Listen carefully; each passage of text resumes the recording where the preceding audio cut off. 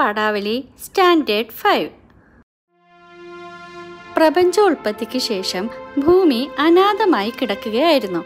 മനുഷ്യൻ കടന്നു വന്നതോടെ ഭൂമിയിൽ അളവില്ലാത്ത മാറ്റങ്ങൾ ഉണ്ടായി. പ്രപഞ്ച ഗോപുരത്തിന്റെ വാതിൽ തുറന്ന് മനുഷ്യൻ ഭൂമിയിലേക്ക് കടന്നു വന്നതും അങ്ങനെ ഭൂമി സനാഥയായതുമാണ് വയലാർ രാമവർമ്മ ഭൂമി സനാഥയാണ് എന്ന കവിതയിലൂടെ വിശദമാക്കുന്നത്. ഇനി നമുക്ക് പദ്യഭാഗം കേട്ടു നോക്കാം.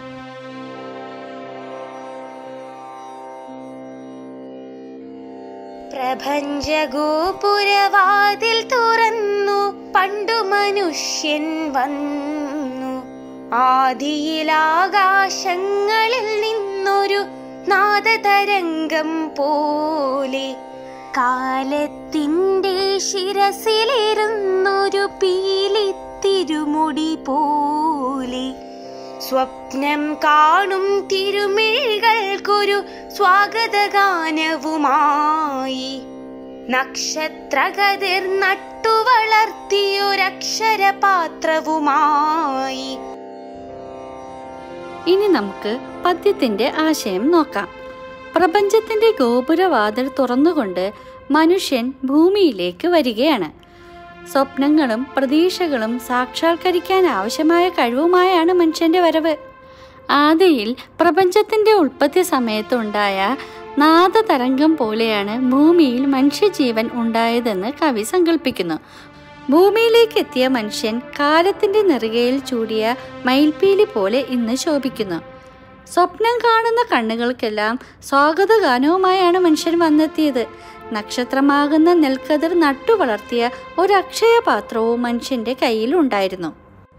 എന്താണ് ഈ അക്ഷയപാത്രം? പുരാണ കഥയുമായി ബന്ധപ്പെട്ടതാണ് ഈ അക്ഷയപാത്രം. സൂര്യൻ പാണ്ഡവർക്ക് അവരുടെ വനവാസകാലത്ത് സമ്മാനിച്ച ഒരു പാത്രമാണിത്.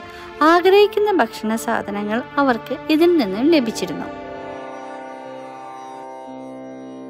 പ്രപഞ്ചഗോപുരവാതിൽ തുറന്നു. പണ്ടു മനുഷ്യൻ വന്നു. വിശ്വപ്രകൃതി വരും കൈയോടെ വിരുന്നു നൽകാൻ നിന്നു. അന്നു മനുഷ്യൻ തീർത്തു ഭൂമിയിലായിരം ഉജ്വല ശില്പങ്ങൾ.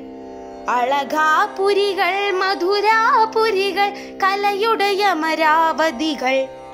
അഷ്ടൈശ്വര സമൃദ്ധികൾ ചൂടി അനശ്വരയായി ഭൂമി. മനുഷ്യൻ വരുന്നതിന് മുമ്പ് ഭൂമി ശൂന്യമായിരുന്നു. ശൂന്യമായ കൈകളോടെ വിരുന്നുകാരായി എത്തിയ മനുഷ്യരെ ഭൂമി സ്വീകരിച്ചു. ഭൂമിയിൽ മനുഷ്യൻ ആയിരക്കണക്കിന് മനോഹരങ്ങളായ ശില്പങ്ങൾ തീർത്തു. കുബേരന്റെ അളകാപുരിയും കൃഷ്ണന്റെ മധുരാപുരിയും കലാരൂപങ്ങൾ നിറഞ്ഞാടുന്ന ഇന്ദ്രന്റെ സ്വർഗനഗരിയായ അമരാവതിയും തീർത്തു. അങ്ങനെ എല്ലാ ഐശ്വര്യങ്ങളും നേടി ഭൂമി നാശമില്ലാത്തവളായി തീർന്നു. സങ്കൽപ്പത്തിനു ചിറകുകൾ കിട്ടി സനാഥയായി ഭൂമി. മണ്ണിലെ ജീവിത കനികളിൽ മുഴുവൻ പൊന്നു വിളഞ്ഞതു കാൺകെ സൂര്യൻ കോപം കൊണ്ടു ചൊലിച്ചു ശുക്രനു കണ്ണു ചുവന്നു. ഭൂമിയെയൊന്നു ബലം വെച്ചൊരു നാൾ പൂന്തിങ്കൾ കലപാടി പറഞ്ഞയക്കുക ദേവി മനുഷ്യനെ ഒരിക്കൽ ഇവിടെ കൂടി. ഭൂമിയുടെ സ്വപ്നങ്ങൾക്ക് ഉയരത്തിൽ പറക്കാനുള്ള ചിറകുകൾ ലഭിച്ചു. അങ്ങനെ ഭൂമി സനാഥയായി തീർന്നു. പറന്നുയരണമെങ്കിൽ തിരിച്ചെത്താനുള്ള ഒരു ഉറപ്പുള്ള പ്രതലം വേണമല്ലോ. ഏത് സ്വപ്നത്തിലേക്ക് സങ്കല്പത്തിലേക്ക് നാം കുതിച്ചുയരണമെങ്കിലും ഉറച്ച ഒരു അടിത്തറയിൽ നിന്നേ കഴിയൂ. തന്നെ ചുറ്റി സഞ്ചരിക്കാൻ മാത്രം വിധിക്കപ്പെട്ട ഭൂമിയുടെ വിളനിലങ്ങളിൽ പൊന്നു വിളയുന്നത് കണ്ട് സൂര്യൻ കോപം കൊണ്ട് ജ്വലിച്ചു. ഭൂമിയുടെ ഈ ഭാഗ്യം കണ്ട് ഏറ്റവും അടുത്ത ഗ്രഹമായ ശുക്രന്റെ കണ്ണു ചുവന്നു. എന്നാൽ ഇതിലൊക്കെ സന്തോഷിക്കുന്ന ഒരാളുണ്ടായിരുന്നു. ഭൂമിയെ വലം വെക്കുന്ന ചന്ദ്രൻ. ഭൂമിയിൽ ഐശ്വര്യങ്ങൾക്ക് കാരണക്കാരനായ മനുഷ്യനെ ഒരു നാൾ അങ്ങോട്ട് കൂടി പറഞ്ഞയക്കണമേ എന്ന് ഭൂമി ദേവിയോട് ചന്ദ്രൻ അപേക്ഷിച്ചു.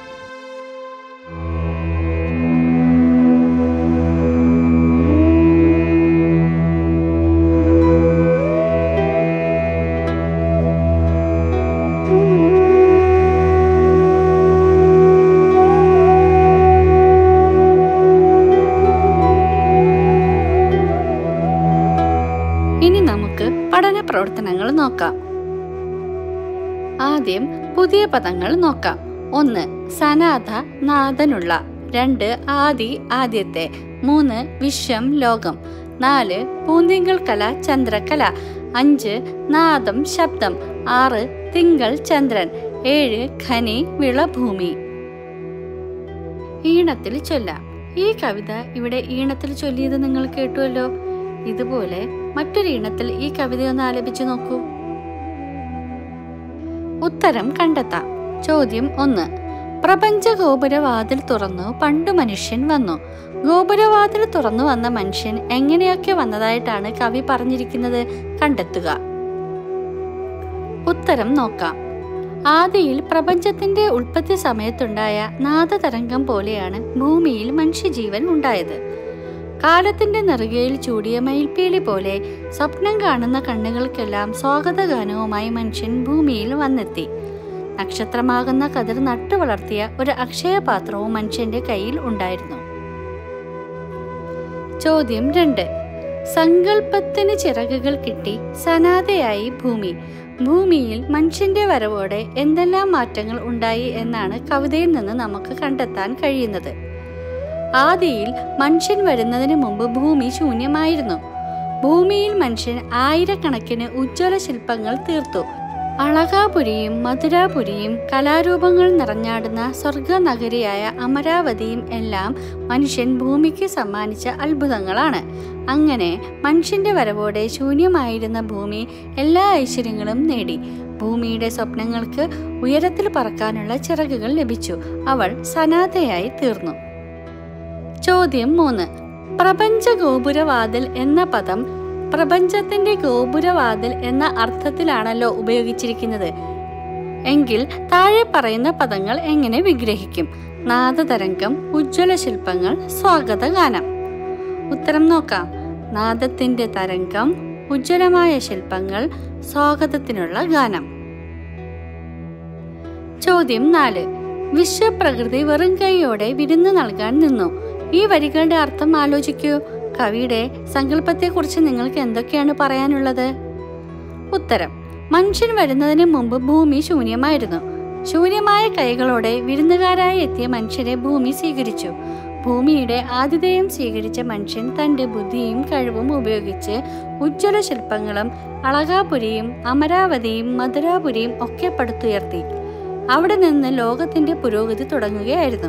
കൃഷി കല സംസ്കാരം ശാസ്ത്ര സാങ്കേതിക വിദ്യ വിദ്യാഭ്യാസം എന്നീ എല്ലാ മേഖലകളിലും മനുഷ്യൻ വളർന്നു. ചോദ്യം അഞ്ച്.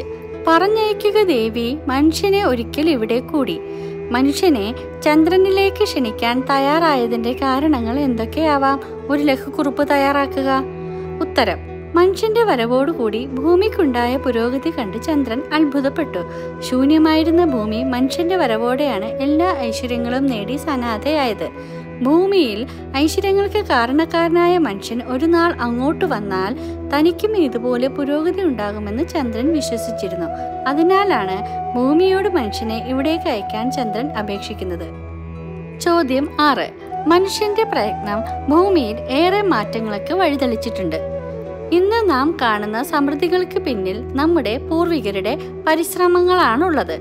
മനുഷ്യന്റെ സ്വാർത്ഥത ഈ അവസ്ഥയ്ക്ക് വരുത്തിയ മാറ്റങ്ങൾ എന്തൊക്കെയാണ്? തെളിവുകളുടെ അടിസ്ഥാനത്തിൽ നിഗമനങ്ങൾ അവതരിപ്പിക്കുക. മനുഷ്യന്റെ പ്രയത്നം കൊണ്ട് കൃഷി കല സംസ്കാരം ശാസ്ത്ര സാങ്കേതിക വിദ്യ വിദ്യാഭ്യാസം എന്നീ എല്ലാ മേഖലകളിലും നാം വളർന്നു. എന്നാൽ നമ്മുടെ പൂർവികർ ഇതിനായി നടത്തിയ പ്രയത്നങ്ങളെ എല്ലാം മറന്നുകൊണ്ട് നാം സ്വാർത്ഥരായി മാറി. കാടിനെയും മണ്ണിനെയും നാം കൊന്നുകൊണ്ടിരിക്കുന്നു. വെള്ളവും വായുവും എല്ലാം മലിനമായി.